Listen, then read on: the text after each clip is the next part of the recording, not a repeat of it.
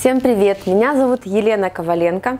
Я являюсь специалистом, экспертом по продвижению бизнеса MLM онлайн.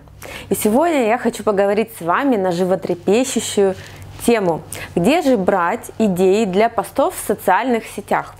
Я думаю, что у каждого из вас рано или поздно начинается такая большая проблема. Где же мне брать темы для постов, как мне писать посты. Я уже не могу высосать из пальца никакую тему и идею.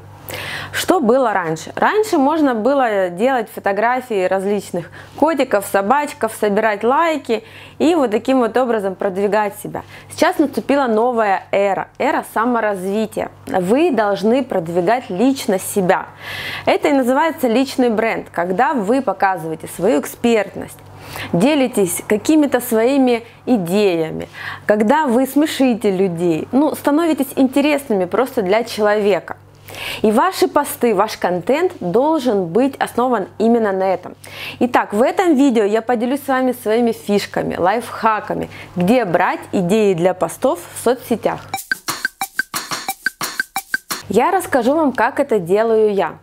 Один раз в неделю, например, в воскресенье, я сажусь и пишу посты на неделю вперед – в принципе, один пост в неделю сейчас этого достаточно. Можете писать два поста.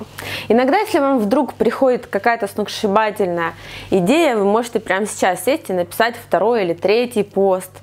Но я делаю именно так. Конечно, я сначала разделяю посты на три части. Это продающий, развлекательный и познавательный. Ну, это такое классическое правило написания постов.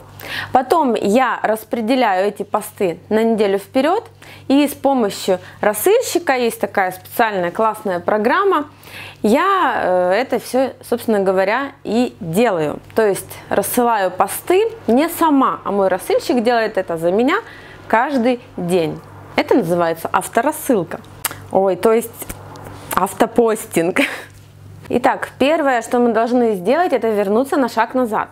Я уверена, что вы уже, конечно же, выявили свою целевую аудиторию, прописали портрет, выявили боли, да, и как минимум у вас есть два главных показателя. Боль плюс мечта целевой аудитории. Если вы этого еще не сделали и не знаете, как сделать, то сейчас появится ссылочка на мое обучающее видео на тему целевой аудитории. Следующим моментом мы берем и каждую тему разбиваем на подтемы.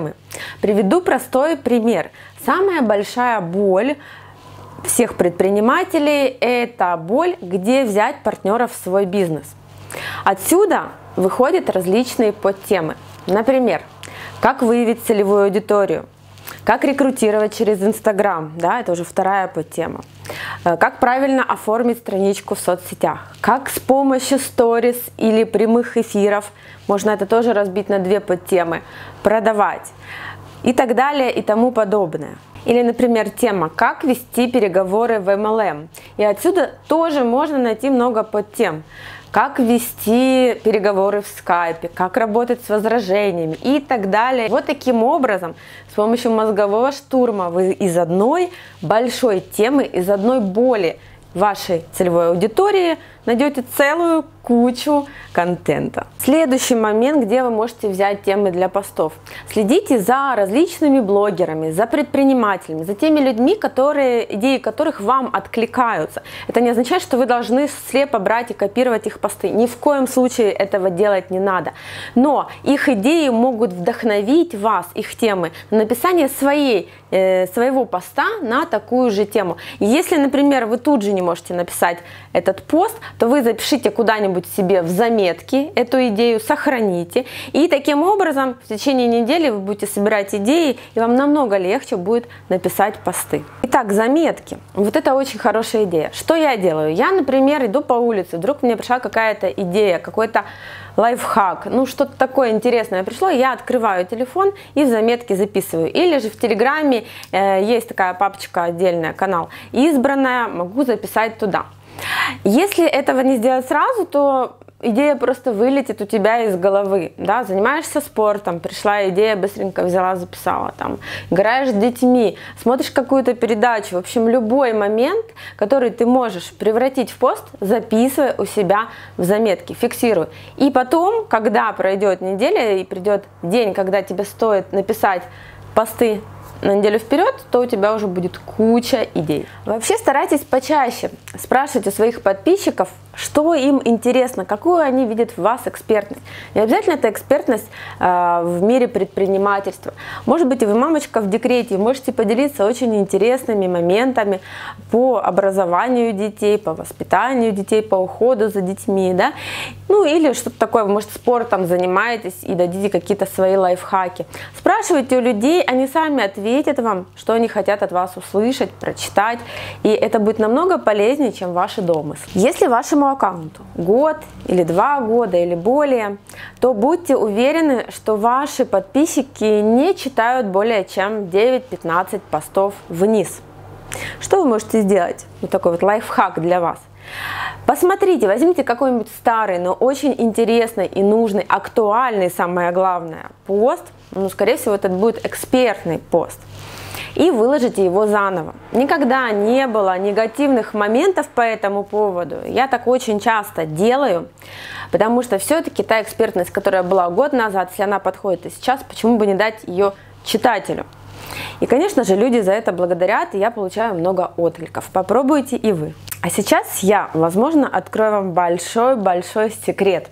Но этой методикой, которая называется переупаковка, пользуется 90% коучер, коучеров и предпринимателей. Так вот, что можно сделать, чтобы найти темы для своего контента, для постов? Вы смотрите или читаете где-то трех специалистов в области на, на ту тему, на которую вы хотите написать пост. Но ни в коем случае не копируйте ни одного из них. Вы это все тестируете, пропускаете через себя, добавляете, убавляете и пишете свой собственный пост. Это очень классная идея, потому что вы действительно будете экспертом в этой области, но не просто копировщиком, да, а действительно научитесь у нескольких людей, пропустите через себя и выдадите этот полезный контент своему подписчику и читателю. Кстати, видео про целевую аудиторию ты можешь посмотреть на нашем телеграм-канале. Подпишись на наш канал, там есть очень много интересного, нового. Мы постоянно выкладываем хороший экспертный контент, которого даже больше, наверное, чем на канале YouTube. Если тебе понравилось это видео, подписывайся на наш канал, ставь лайк, пиши комментарии, задавай любые вопросы, я обязательно на них отвечу. И нажми на колокольчик, чтобы не пропустить следующее видео. С вами была Елена Коваленко. Пока-пока!